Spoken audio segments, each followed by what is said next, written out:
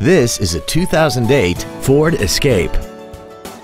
This crossover has an automatic transmission, a 3.0-liter V6, and four-wheel drive.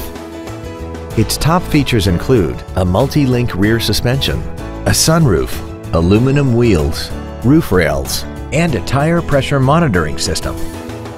The following features are also included air conditioning, cruise control, full power accessories, satellite radio ready, a leather wrapped steering wheel, a four wheel independent suspension, an engine immobilizer theft deterrent system, traction control, a rear window defroster, and an auxiliary power outlet.